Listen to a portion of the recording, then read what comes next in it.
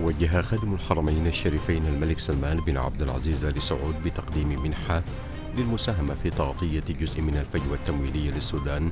لدى صندوق النقد الدولي بحوالي 20 مليون دولار وذلك كمبادرة من المملكة للمشاركة في معالجة المتأخرات وتخفيف أعباء الديون على السودان.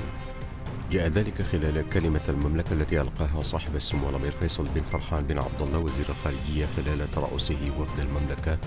في المؤتمر الدولي لدعم المرحلة الانتقالية في السودان المنعقد في العاصمة الفرنسية باريس بمشاركة معالي وزير المالية الأستاذ محمد الجدعان وحضور ومشاركة أكثر من أربعين دولة. عاد رئيس مجلس السيادة عبد الفتاح البرهان البلاد صباح اليوم بعد زيارة لفرنسا استغرقت يومين شارك خلالها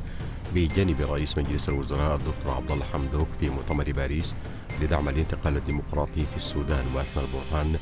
على جهود الرئيس الفرنسي إيمانويل ماكرون وتنظيمه للمؤتمر الاقتصادي لدعم الانتقال الديمقراطي في السودان.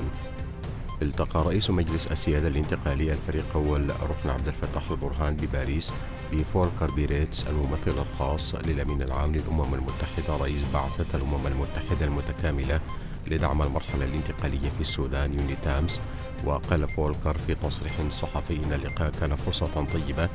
لبحث كافة القضايا المتصلة بأداء وواجبات البعث والمهام المكلة لها ودورها المرتقب في دعم مسيرة الاستقرار. بدأت بالعاصمة الفرنسية باريس صباح اليوم فعاليات لقاء رئيس الوزراء عبد الله حمدوك مع 15 شركة من كبريات الشركات الفرنسية والعالمية وذلك على هامش مؤتمر باريس الذي انعقد أمس بهدف دعم الانتقال الديمقراطي في السودان.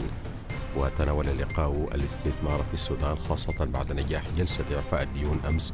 الذي فتح الباب واسعا لولوج السودان إلى منظومة المال الدولية.